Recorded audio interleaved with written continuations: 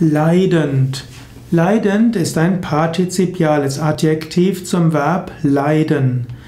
Leidend ist das Partizip Präsens vom Wort leiden. Leidend bedeutet, dass man krank ist, kränklich ist. Man kann sagen, dass jemand leidend ist.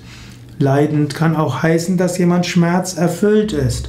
Man kann sagen, dass jemand eine leidende Stimme hat, eine leidende Miene oder jemand kann einen mit leidendem Blick anschauen.